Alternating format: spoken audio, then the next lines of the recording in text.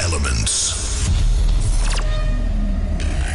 Welcome to Elements with Port 5.